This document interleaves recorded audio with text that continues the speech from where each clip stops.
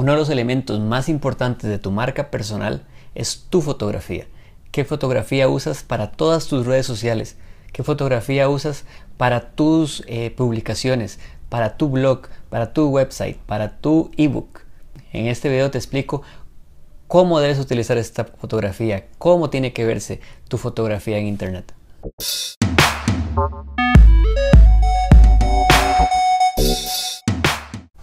Una de las formas más rápidas de conectar con una persona es con la fotografía que uno tiene en su perfil eh, de Facebook, por ejemplo.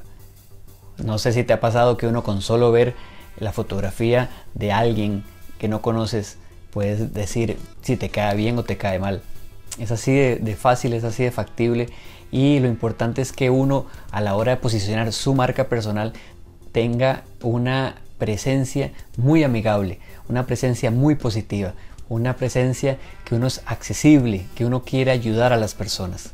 Porque si utilizas, por ejemplo, una fotografía donde sales muy serio, donde sales tal vez enojado o donde sales eh, haciendo algo que no se proyecte eh, amigable, las personas no van a querer trabajar contigo, las personas no van a querer contratarte. Muchas personas van a sentir cierta distanciamiento con solo ver que, eres una persona seria. Cuando creas tu marca personal tienes que estar claro que tú eres el, negocio, que tú eres el que, el que da la cara por el negocio, porque es tu marca personal. Entonces, ten en cuenta que tu cara va a estar en todas tus redes sociales, en todas tus publicaciones.